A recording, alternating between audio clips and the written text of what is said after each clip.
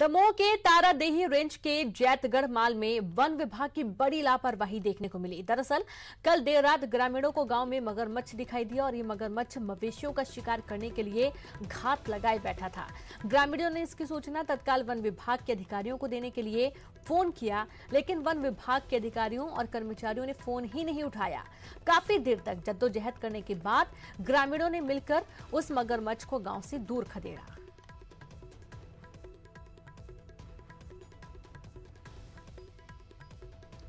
तो अधिकारियों, कर्मचारियों ने देखा, ग्रामीणों ने मिलकर मगरमच्छ को खदेड़ा है और जैसे ही मगरमच्छ नज़र आया, लोगों के अंदर थोड़ा डर भी हुआ और वन विभाग को सूचना देने की कोशिश की गई थी। अधिकारियों, कर्मचारियों ने फ़ोन तक रिसीव नहीं किया है।